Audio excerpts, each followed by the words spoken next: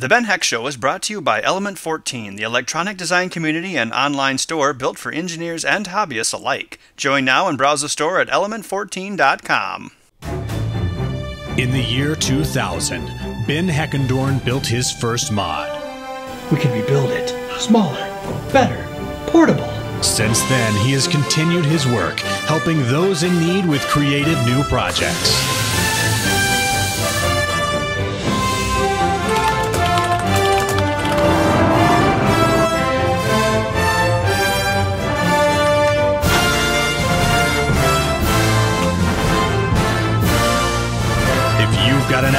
You'd like to see built, why not send it to the Ben Heck Show? Hello and welcome back to the Ben Heck Show. Now, in this episode, we're going to do things a little differently. There's not going to be a viewer challenge. Instead, we're going to work on a project that I've been wanting to build for several years now. Let me explain the idea behind it. As many of you are no doubt aware, it is quite difficult to fully open a standard laptop computer on an airplane. If the person in front of you leans their seat back at all, it becomes mostly impossible. My intention is to modify a laptop in such a way that the screen can be positioned above the keyboard, allowing you a great view and comfortable typing. To do this, we'll hack up the LCD portion of a laptop, build it into a new enclosure, and make some custom mounting arms for it. Let's get started!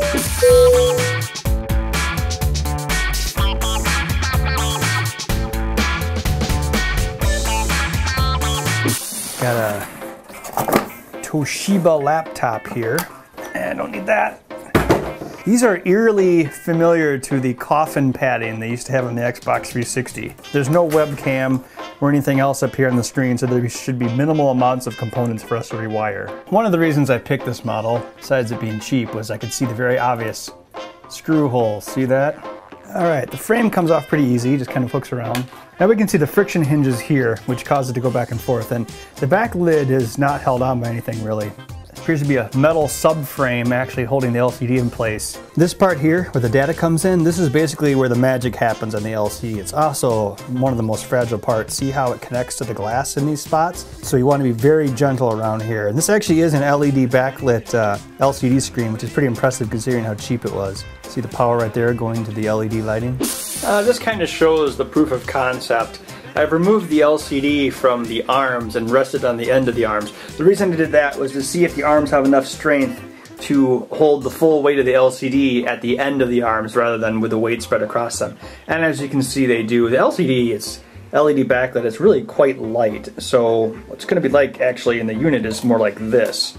So now we can see how far to extend the cable. So I've carefully sliced apart the data cable going into the top of the LCD on the laptop and it might look like a big mess, but it's actually not too bad. In the olden days, the computers would have flat flex ribbon cable going curling up around the hinges and going up to the LCD. You could, really couldn't do anything with it, but this, we could actually, believe it or not, hack up and extend. Now I want to go slow with the hack on this, so I've cut one of the wires for the um, video connection. I'm going to pointlessly extend it. This will show me two things. A, if I can wire things to these wires, to extend the wires, and B, if extending the wires will affect the performance. It shouldn't, but I'm going to test it a little before I test it a lot. There's the redone connections. Here is the twisted pair represented as a long piece of ribbon cable. This is longer than we'd need, so uh, let's test it. Oh no, we seem to have lost image and the reflection on the screen doesn't count. Okay, now it's working. What we did differently was use some thin solid strand cabling such as you would find on an Ultra ATA hard drive. You have to use the thin wire which looks like this. Uh, quite often if you try to rewire high-speed serial devices with um, stranded thicker ribbon cable like what we tried first, it won't work. It's going slowly. I'm extending all of the wires as you can see here but I can only extend them one or two at a time because if you use the wrong thickness wire, like single strand instead of stranded, uh, it causes it not to work. So as you can see here, I had to use the thicker wire to keep the LCD backlighting working. So it's going slowly, but that's the thing. Only make one or two modifications at a time, test, more modifications, test, more modifications, test. That way you can rewind one step, like an undo button, and find out where the problem was. If you hack too much at once, we'll never know where the problem was and end up redoing everything to possibly just fix one thing. The wire has now been extended, so now we can work on making the new bracket. All right, here's a test. Here's a jerk in front of me who leans the seat back. But in this configuration, I can see the screen and have it fully open, even with this that close. I am on a fake plane.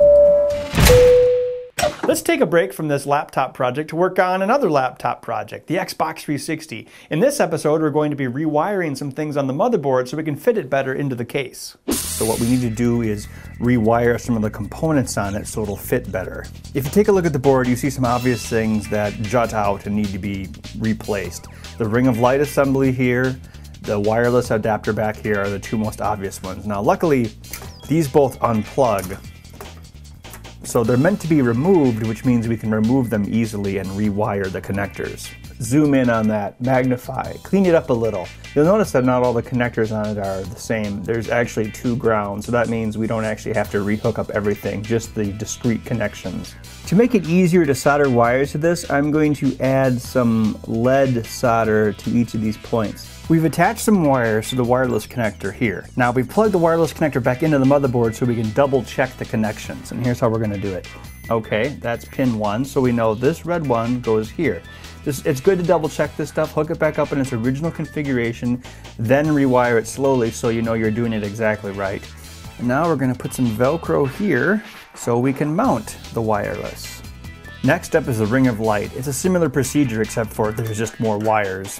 What we're going to do is um, cut the ribbon cable in such a way that it will go between the lower pins and reach up to the bottom pins, so that way it's flat. Connector has 7 plus 6 rows, so 13 total pins, but I'm actually superstitious enough to add an extra ground to make it even 14. So we're going to separate the wires. One down, one up. One down, one up. Then I'm to cut the bottom row of 7 shorter. Now the green stuff on a circuit board, that's called solder mask. It's to mask the solder to only go in the spots you want it. So when you're doing connections like these, don't worry if your uh, wires and pins, you know, overlap or even touch the surface of the circuit board. As long as there's solder mask there, the green stuff, it won't short circuit anything. Next, we estimate how long to make the cable. We do this by taking our frame. Ring of light goes there, has to reach here-ish, about that long. Take our ribbon cable from the ring of light and solder it to a header. You may remember us doing this in uh, episode one when we made that uh, controller. Always build things you can take apart because if you build something you can't take apart, then chances are it won't work. You'll have to take it apart and you won't be able to, and you'll be sitting there slicing apart hot glue and cursing to the heavens above. Once again, we plug the item into the Xbox so we can verify that we've hooked it up correctly. This connector here is where the touch sensitive buttons were on the front faceplate. Now those are all well and good, but I'd rather just use tact switches, so let's see if we can deduce how this works. I've taken this wire and hooked it up to ground, because that's usually how everything works. It's either, you know, ground, zero, or um, voltage, one. So I think this one here, yep, okay, that one is power. So if we attach a switch to that pin there and pull it ground, it will turn on the unit. And then I believe two over is eject. Yep. Bingo! And here we've attached a wire for the buttons we're going to add later on.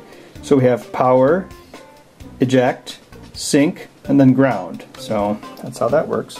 Okay, I tested them all and they were all good, so now we can move on to the next part, the hard drive and optical drive. This is how the DVD drive is placed in the actual unit. As you can see, it has a power cord here and then also a SATA plug. Now we can get a replacement SATA cord to extend that, but if we want to move this drive over here, we're going to have to manually make this cord longer. Now it's custom, but you can just Google, you know, Xbox DVD power connector and find the pin out. So basically we just have to extend this from here to here and just wire up the connections we need. And this thing contains ground 12 volts, 5 volts, 3.3 volts, tray status, and then another pin to make the tray open and close. The DVD cable has been extended so the drive can be put on the side. Now it's time to work on the hard drive. All right, let's put in the SATA hard drive. It would go right about here. And then you have to plug it into the left because that's the one for the hard drive. And oh crap. It's just barely too short. so I'm gonna have to actually extend this using leftover SATA from the DVD drive. The DVD SATA is going to be right here. The one for the hard drive has to come around like this. So we've got to make the connection here. Here are the insides of the SATA cables. There's two pair, A and B. Each one has two ground on either side, and then the two wires in the center are the positive and minus data. So you can think of it like two sets of USB connections. What we're going to do is we're basically just going to rehook all these back up and keep them isolated. You'd only need the grounds really once, but it's good to just make sure you got everything hooked up just to make sure. And it also helps to keep it straight and in line. The SATA connection is done. Don't worry, I guarantee it will work. Okay, let's see if it works. Powering up the little screen. Wow, look at that! HD resolution. Can you believe it? We're just about there with the Xbox 360 laptop. In the next episode, we'll be putting it into the case, adding sound, power, and finishing it. Now, let's get back to the coach section laptop. This may look like a simple rod, but today it is more. It is now a patented center of gravity detector. That is pretty good. I'm going to mark that off as the center of gravity. Once we know where the center of gravity is, we can design the case around it. Now there's three basic parts. There's the frame or the arm that holds the screen assembly. There's the top lid, which encloses it and has a neat graphic. And then there's the front frame, which actually goes around the LCD. So we're gonna take these designs in to get CNC'd and then I'll take the parts to my friend Mike's house and we'll put it together. We're back to the main build. Now as you can see here, we've routed a few pieces. It's fairly simple. We're basically making a screen frame. So we've got these two things here, which are going to give depth around the screen. And then we've got some plates that will hold the screen in place. So we're gonna just sand the edges here so we can glue the frame to it. I always want to sand things before I glue it because it gives more surface area for the glue to stick to. Now we're to use super glue on this. Super glue is pretty good stuff. It's cheap and it works great. Now I'm doing it this way so I can see if there's any overhang. The LCD in a laptop is kind of like the windshield in a car it actually provides a lot of the structural strength, just the fact that, I mean, this is pretty flimsy, obviously, and so is a laptop screen area when you take the LCD out. So if we make sure the LCD is held firmly to the frame, it will give the frame support rather than the frame actually giving it support because LCD is a you know solid piece of glass. So we're gonna put the screen in place and then we're gonna glue this in place. That way we know it fits. As you can see, it's pretty firm because the LCD is stuck to the frame so it gives it strength. All right, my cheapy mounting method is this. The bracket is here, this thumb screw goes through the hole and then it attaches the two positions of the screen using these nuts. So basically you hand tighten it into the nut like that. So we've got to adhere these nuts somehow. So what I'm going to do is glue them in place using super glue and then reinforcing it with JB Weld. But I've got to make some surface area so the glue will stick. All right, well I'm using this JB Weld, even though this is JB Quick. It's just like JB Weld except for it's quick. And It's just a two-part epoxy, but it's great. If you've never used it, you should get it. Okay, so we put these nuts in here and they will receive the thumb screw. So what I'm doing is used super glue to kind of put them in place. Now I'm using JB Quick to keep them in place. Mike, you've got to be quick with that JB Quick. Hurry! I'm not that quick. Oh man, time is wasting. Well, we've come into a problem here. The hole in the bracket doesn't quite line up with the nut. So we can either move the hole a little bit or shave off this bracket. To make up for the misalignment, Mike has put a little tap hole in here.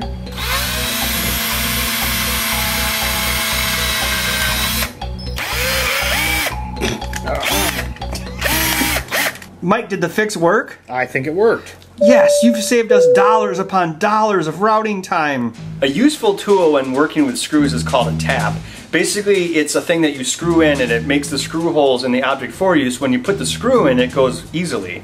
I have forgotten my tap, So I'm having to manually torque this through the piece to make the threads. Mike, this is amazing. You're screwing that through easily by twisting the piece around the screw rather than twisting the screw into the piece. What is this an example of? You see, I've made a, a crude lever. It's one of the seven simple machines. Uh-huh. All right, so now here comes the uncool part. As you can see, if the screw goes all the way through, it's, it's too long, so we're gonna have to Dremel the screw shorter. So this lights up when the screen does, so I can make a free backlit section. But I need to kind of protect this first. So I'm going to go green and recycle. If you have something like a piece of plastic that this memory came in, it's like gold. Look at this. Free plastic! Put it against this text here so these letters will stay in place. Get some spray adhesive. Don't need much. It's possible we might have put too much JB Weld on. And by possible, I mean we did put too much on, so I've got to shave it down so the lid fits. All right, so we've got the frame here. We've actually got to attach it to the laptop to put it together. So these match up there, see? So now we've got to bolt these together, slip the ribbon cable through the back of this, and then screw this in place. All right, well Mike is going to attach the brackets to the friction hinges, and then we will reattach the brackets to the screen portion, and we should be ready to go. And now we remove the transfer tape to reveal the fine faux wood exterior. Wood paneling. It's not just for your unupdated home from the 70s anymore. These knob screws we use here obviously is a design flaw. We should have used a bigger turnkey screw because you really can't do these by hand, but once we add those, it's going to be a lot easier to do. Now if you move the screws out to this position, you can actually use it still like a regular laptop. See? So it still can open as a regular laptop. It does both things. I think what we could do in the future is we could um, improve how the brackets work so it's easier to slide. We just use these screws here because it was the quickest way to prove the concept. It's the dual position coach laptop. You can use it like a regular laptop or it can work in airplane mode. That's all the time we have for today. Be sure to catch our next episode where we modify a bunch of Rock Band equipment and also finish the Xbox 360 laptop. We'll see you then. The Ben Heck Show is made possible by our sponsors at Element 14. For more information on all my projects and for a list of all the parts I used today, visit element14.com. Visit their community in the Ben Heck Show group using the URL below. Join me there to get more details about a chance to win the Xbox 360 laptop we're building. We'll see you next time.